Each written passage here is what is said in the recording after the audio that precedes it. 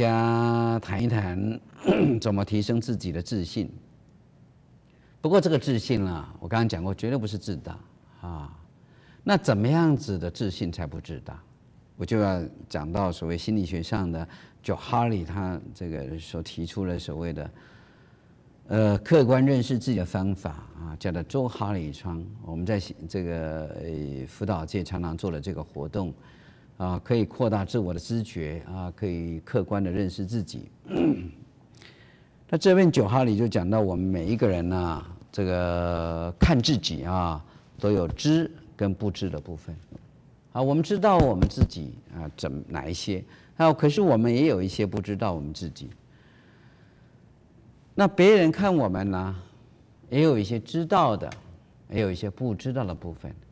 那我们把这个知与不知啊，自知自不知啊，他知他不知组合起来，就变成四个象限。那这四个象限啊，这时候叫呢，你知我知，那个不是公开我啊，因为我公开我自己，你才知道啊，我也知道我公开了我这个部分。那可是我们人还有一个部分，叫做你知我不知。哎，你看我看得很清楚啊。可是我自己不知道我那个部分，所以这个部分呢，就是被挤我，啊，就让我想起过去我们大概这个高中阶段呢，国中阶段最最最喜欢会会戏弄同学，我们也戏弄别人过，也被戏弄过，对吧？就是说那个，比方说写一张纸条啊，然后啊偷偷放在后面啊。然后就跟同学说：“哎，我们去福利社，就一拍啊，就纸条就把它贴在后面，啊，然后啊就带着他去福利社。后面有一群人呢，就看到他后面呢有一张纸条，看了都哈哈笑啊。可他自己不知道你们在笑什么，啊，等到后来他发现呢，走到后面都在笑，他摸一下，哎，他发现自己后面有一张纸条，拿出来一看，我是猪。”各位，这跟我们讲到，就是说，别人看我们看得很清楚，而自己看的自己没看到，那他背己我，啊，背己我，所以这个部分是你知我不知的部分，哈，他必须要有别人帮他发现。那另外有一个区块叫秘密我，说我知你不知，我们每一个人都少一些秘密了，人也需要有一些秘密了，啊，我们总有一部分是不愿意开放给别人的。可是当一个人过度的拥有太多的秘密，这个人就总是闷闷不乐，因为他内心呢。太多的承载，太多的东西在那个地方，明明可以说出来，他又不说，啊，就闷闷不乐嘛，闷在那里久了就生病，啊，所以我个人啊，是主张让自己的秘密不要太多，啊，当然前提是我们去开放给可以开放的人，啊，对不适当的人，我们当然要保有一些我们的秘密，啊，就不要去开放给别人，因为呃，秘密对不当的人来说啊。将会是造成对自我的伤害。第四个区块叫做“我不知你也不知”啊，这是一个潜在我。事实上，我们每一个人都有这个部分。哎，我自己不知道，别人也不知道啊，那是潜在里面的。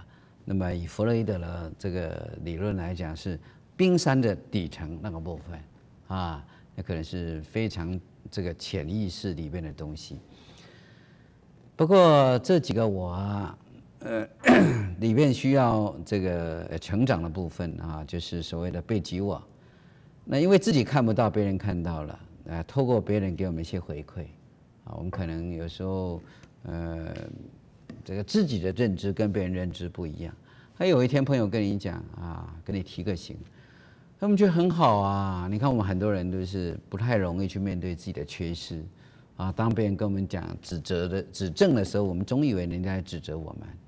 那其实我们假定能够转个念，啊，别人是在提醒我，在教我，哎，在扩大这个觉察我的背脊我那个部分。那你的背脊我呃减少了，你公开我就增加了嘛。一样的，你对适当的人去分享你的秘密了，啊，这个可以分享的，分享的减轻负担的。哎，你秘密我减少了，你负担减少了，你公开我也增加了。那潜在我啊，是自己别人都看不到，这恐怕需要靠专家的解析啊。呃，第二点，我们讲到真诚的表达自己。哎，表达很重要，我很喜欢表达这两个字。哎，你看这个表达，表是表情，达是达意，啊，那个表情是把一个人内在的情感表面化。我们高兴就现出高兴的样子，我们难过就难难现出难过的样子。人最怕的是所谓的他内在的感情跟表面的不一致，他或许隐藏，他或许掩盖，他或许否认，可是这个人是不健康的。我想他自己会有负担。我在学校开情绪管理的课，呃，我也曾经呃这个带着学生去分享他的感觉，啊，因为我知道人把自己的感觉说出来是重要的。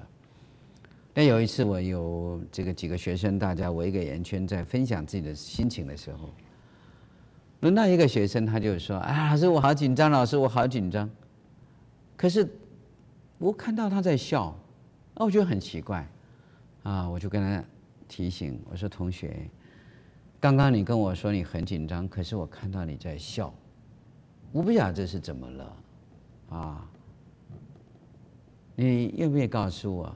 谁告诉你紧张的时候要笑？他这个时候就好像突然间被发现他的伪装，可是他的反应很快，他马上跟我讲：“爸爸，各位你想一想，爸爸妈妈对孩子影响有多大？”我说：“你爸爸怎么教你？”他说：“反正成长过程当中，我爸爸都喜欢我笑，他不喜欢看到我不笑。”所以，我如果看到他不笑，爸爸就会提醒我，啊，他就问我，怎么是什么事不开心了？没有什么好不开心了嘛，这社会都很好啊，啊，人就要笑啊，你长那么漂亮就要笑啊。哎，有些理念是对，可是笑不是被要求来的，啊，所以后来他总觉得要是不笑就变念，所以他以后就看到爸爸就笑，所以那个笑就变成他的反射行为，他。很自然的，啊，看到爸爸就笑，那往后就变成看到别人要笑，因为笑才能讨人喜欢，可是他不是真正的快乐的笑，所以，哎，这我想一想也是心疼。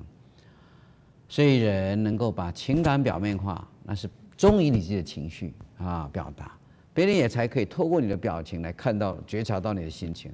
哎呀，你难过啊，需要被安慰。啊，哎呀，你开心了，我可以跟你分享我的喜悦，我可以跟你，这个时候可以跟你讲一些啊，你开心的时候可以讲的话。哎呀，你现在很难过啊，我可以跟你讲你难过的时候可以关心你的话。所以这个表情很重要。答是答意，怎么把我们的想法清楚的传达给对方？啊，这个叫答意，啊，具体清晰的传递给对方。我想这个都是要练习，所以这一点我才讲到说，一个肯定自我的人，他是学会说出自己的想法跟感觉。那刚刚也讲到，透过九哈里周哈里窗啊，一个人这个怎么从这四个向度来成长啊？透过自我觉察，透过别人回馈啊，透过比方说这个心理测验嘛，或者是透过一些专家。他们有比较专业的这个学理基础，他有敏锐观察力，他来给你来做一些回馈。那接下来我们就谈到所谓的迈向成功啊，迈向成功。我们在肯定自我之后啊，你就其实就已经是迈向成功了。那不过关于迈向成功啊，我得要先把成功这两个字啊，我个人对成功这两个字的认定啊。我个人认为，成功是